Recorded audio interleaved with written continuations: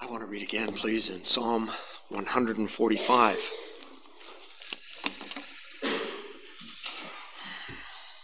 Psalm 145, verse 3. Great is the Lord and greatly to be praised. His greatness is unsearchable. I want you to look down at verse 6, just the last five words. I will declare thy greatness. So his greatness is unsearchable in verse 3, and the writer says, I will declare thy greatness in verse 6. So, uh, let's turn to the New Testament. I'll just read one more passage. It's Romans 11. Romans chapter 11.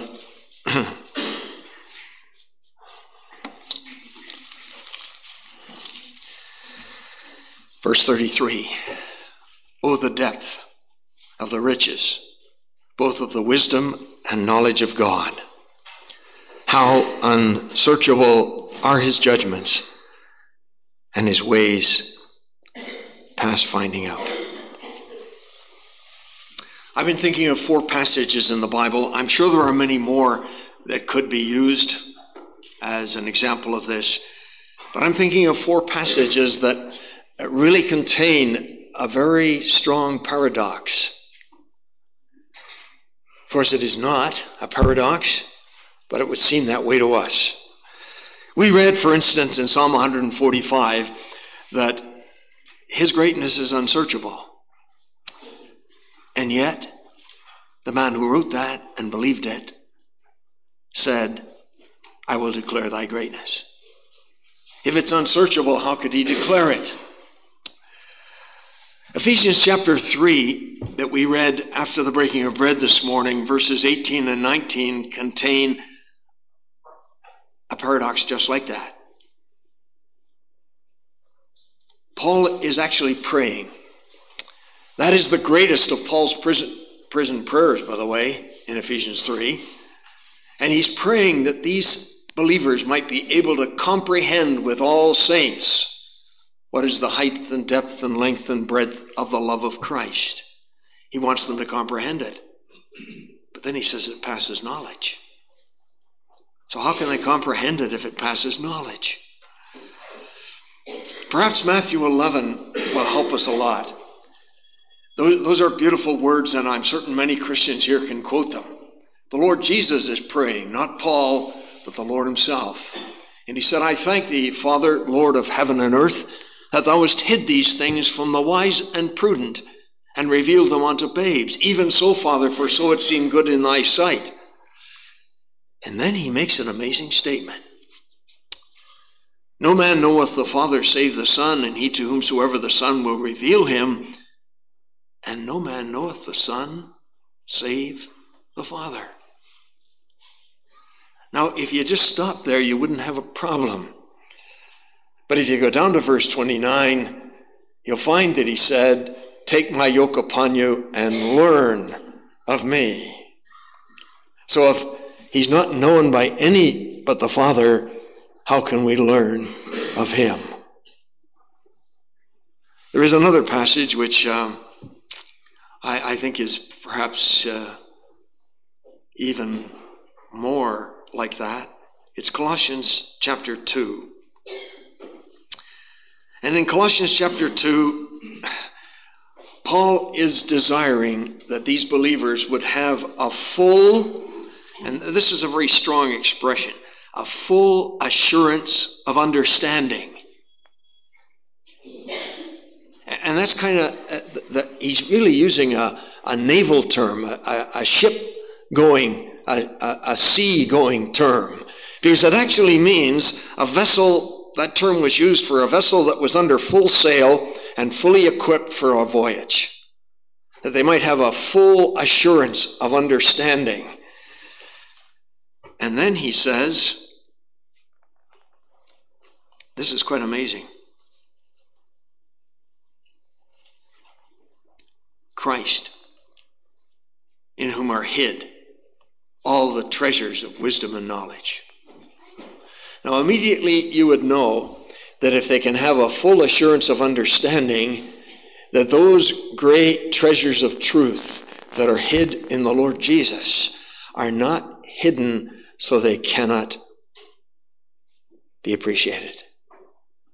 But what all these scriptures prove is what I was trying to speak on at the close of the breaking of bread. When we come to the Bible, when we come to God's revelation of His Son, we are finite creatures, and this is infinite truth. I think I can say this again, and I won't maybe uh, bore you too badly, that although we are finite creatures, we have great longings for the infinite. And that's so obvious to us every day we live. Is there anything really in this world that measures up to filling the heart, satisfying the soul, giving us really a final answer to anything? Not in this world. I know a lot of questions. I'm sorry that in many cases, I don't know the answers to those questions. So there are many things in this world, but none of them, none of them, nor all of them put together, can ever fill our hearts. And I mentioned the words of Ecclesiastes chapter 3 and verse 11 this morning. I'm going to quote them to you more accurately now. Uh, the first part of verse 11 of Ecclesiastes 3 has been made very well known by a man in the state of Minnesota. What are the first words of verse 11 of Ecclesiastes 3? He hath made everything beautiful in his time. He hath made everything beautiful in his time. What's the rest? He hath set eternity in men's hearts. Our English Bible doesn't read like that, as you well know. Our English Bible reads, He has set the world in their heart. But that's not really the word at all. It's eternal ages. It's the ages of the ages. So into the heart, not just of believers, but of all mankind, God has set eternity in their hearts. And I, and I think that perhaps there are people who are far more influenced when they hear the message of the gospel preached than we understand they are. Because they recognize, they must recognize here is an answer.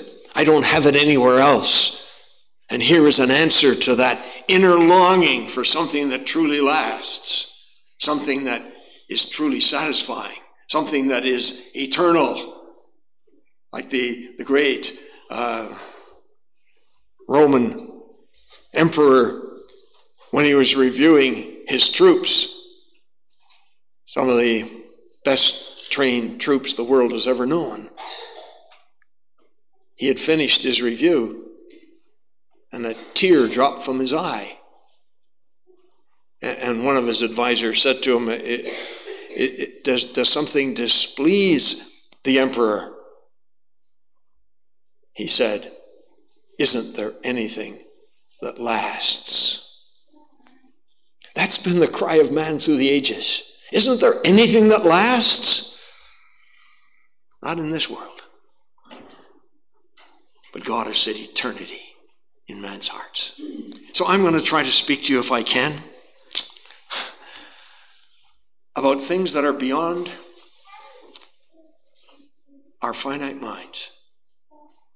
And yet, in every one of the cases I've mentioned to you so far, in spite of the fact that this is infinite truth, we are invited, we are encouraged, we are urged to look into infinite truth.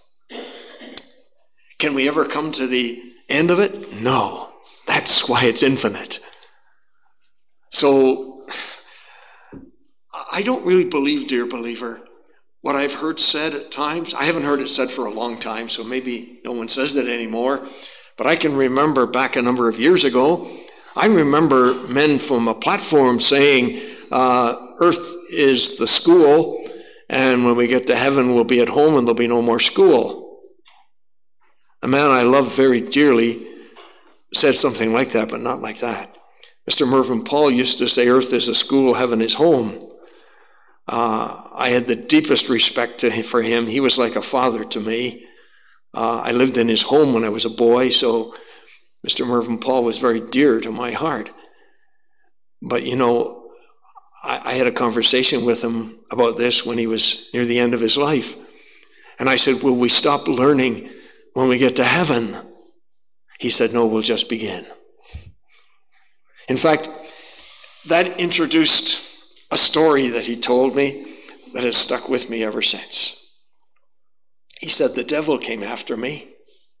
He was seriously ill. His body was diseased. He was dying. He said, The devil came to me and said, Mervyn, you're all done. You're all finished. This is the end. and he said, I opened my Bible and I put my finger on Ephesians chapter 2 and verse 7. And I said, There, you old devil, just look at that. What does it say? In the ages to come, he will show the exceeding riches of his grace in his kindness toward us through Christ Jesus. Only the ages of the ages could ever satisfy our hearts. No wonder the Word of God answers our deepest need. No wonder we find in it that which can meet every desire and longing in our being. Nothing else does. You know, an element of all worship is wonder. The old Puritans and some of our preachers, including dear Mr. Maxwell, used to often quote these words when we have ceased to wonder, we have ceased to worship. So there's an element of wonder. Was there not an element of wonder in the worship this morning? Oh, there was a great element of wonder of awe, of a holy awe. That, that, that, that holy God who inhabits eternity, that he could look down and see me, a poor, wretched sinner, less than a speck in his universe, and that he could so love me as to give up his only son to die in my place.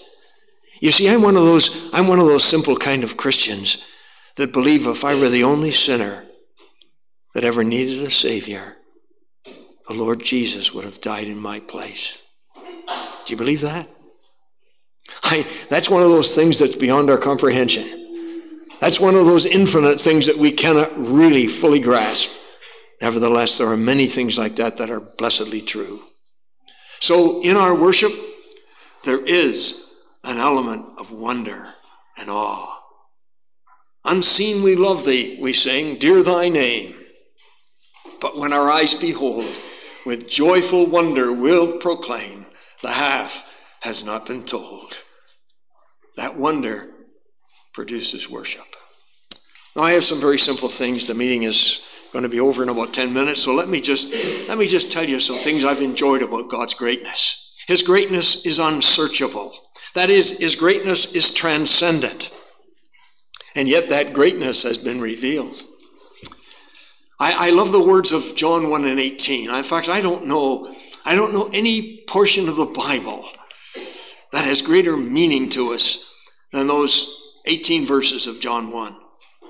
And John 1 and 18 says, No man has seen God at any time. Now, is that true? No man has seen God at any time. Just stop for a moment. Did Moses not see him? No.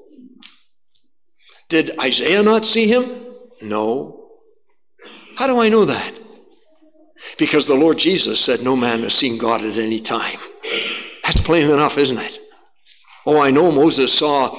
Uh, you know, this, this, is, this belongs to modern technology, so maybe you don't want to relate this to Mount Sinai, but what Moses really saw was the afterglow. You know what an afterglow is, don't you?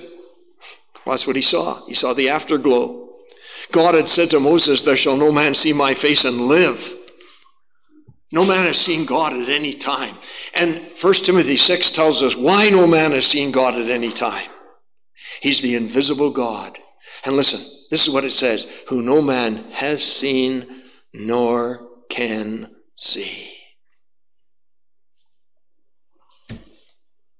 Are we going to see God? Even Job had that assurance. I know that my Redeemer liveth. And after skin worms have destroyed my body, yet in my flesh I shall see God. We're going to see God? We surely are. No man has seen God at any time, but the only begotten in the bosom of the Father. He has led him forth into full revelation. Mr. John Smith, some of you knew who he was. He was the son of the great pioneer John Smith, who came from Scotland with Mr. Munro and Mr. Ross and labored to see assemblies planted in North America. And uh, his son was a very godly man. We had high respect for him. I counted it one of the great privileges of my life to speak at his funeral. And he said to me one day, There's a problem. He said, When we get to heaven, who are we going to see? I was all ears, and I didn't even attempt to, to answer his question. I just looked at him. Then he smiled. He said, Is there anything about God that the Lord Jesus Christ does not fully reveal? no. He has led him forth into full revelation. Therefore, we are able to see the greatness of God that is unsearchable and we're able to see that greatness in the person of the Lord Jesus. And in what way? Well, just let me give you a few examples because I cannot, I cannot give you many. Almighty power. Almighty power. The Lord Jesus is the one by whom all things were made. Without him was not anything made that was made. He's the mighty creator. And what's more, Colossians 1 tells us he's the upholder, he's the sustainer. He holds all things together by his power. What power? What power? Can we understand it? No. It's far beyond our, our grasp. I read to you last Lord's Day a statement from a geneticist who uh, publicly is supposed to believe in evolution, but in his heart cannot believe it because it's impossible. And uh, I quoted these words to you from that dear man that when he looked at the wonder and his particular area of microbiology, is investigation of the program, the writing that is found in the DNA code, uh, he said that we don't, we can't read the words, but we're just learning how to identify the letters of the DNA code. And then he said, Did it come about by chance? By evolution? He said, That is absolutely impossible. It was engineered by genius beyond genius. So, what are we looking at? His greatness is unsearchable. The greatness of his wisdom, the greatness of his power. I thought of the absolute holiness of God, his perfect righteousness. The Lord Jesus in John 16 says, said that the Holy Spirit was come to convince the world of righteousness because I go to the Father. What did that mean? It meant that as long as he was here, he was the light of the world, he said, as long as he was in the world. As long as he was in the world, he was the display of God's holiness and God's righteousness. Can we understand that? No, his greatness is unsearchable. It's beyond our comprehension. Perfect holiness in a man walking on earth. There are mysteries about the incarnation that we cannot grasp. They are beyond us. But oh, how we long to learn more. No wonder the Lord Jesus said, No man knoweth the Son save the Father, and yet take my yoke upon you and learn of me. Do you long to learn more? You can. And you'll never come to the end of that learning. So I believe for all eternity we'll go on learning about Him, the infinite one. Think of His immeasurable love just for a moment, if you will. Think of love that knows no measure. Think of love that transcends human thought. We sometimes sing a beautiful hymn, On such love my soul still ponder. Love so rich, so great, so free, say while lost in holy wonder. Yes, there is wonder. Why, O oh Lord, such love to me? So we wonder. His greatness is unsearchable. The greatness of his love is beyond our comprehension. Think of the unfathomable depths of his mercy. Dear Christian, do you have loved ones not saved? I do. I don't want to say too much about this. I get on my knees sometimes in the middle of the night. And if you have a burden for loved ones, I can understand it. But listen, the depth of his mercy is so great. It's higher than the heavens and deeper than the deepest sea. Don't ever underestimate the unfathomable mercy of God. It's sufficient. It's enough. It can reach any lost soul. I've already referred to the exceeding riches of His grace. And I'm certain that you understand that when Paul said, in the ages to come, he's referring to eternal ages. Not only a millennial reign of a thousand years, but a new heaven, a new earth, the ages of the ages. And in the ages of the ages, he will show. I love that. that that's to me one of the most precious truths that I know. You see, when the Lord Jesus was here, he was showing the Father. In him you could see the Father's glory shine. Is that going to stop in eternity? No. In fact, that's again what 1 Timothy chapter 6 is saying. In its time, he shall show, who shall show? Christ shall show what? Shall show the glory of God. And that passage is actually referring to an eternal display of the glory of God in the person of our Lord Jesus Christ. Nothing lacking. And it's infinite. And his greatness is unsearchable. But I have a very practical way of applying this to myself and to you. This one who, whose greatness is unsearchable. Wonder of wonders. Uh, in Isaiah chapter 40, an amazing passage, I, I think it's one of the most precious passages in the Old Testament. Hast thou not known, hast thou not heard that the everlasting God, the Lord, the, uh, the uh, the creator of the ends of the earth, fainteth not, neither is weary. There is no searching of his understanding. No searching of his understanding. And that has been very precious. I'll tell you why. He cares for you. How much? How tenderly? How personally? Well, I'm going by the words of the Lord Jesus in Matthew chapter 10. He said, Are not two sparrows sold for a farthing? And one of them shall not fall on the ground without your father. And, and you see sparrows every day. Do you ever look at those little birds and think of the care of God? Not one sparrow falls. What's a sparrow worth anyway? Not one sparrow falls without your Heavenly Father. Was he teaching a lesson? Yes, here's the lesson. Fear not. You're of more value than many sparrows. Does God care for you?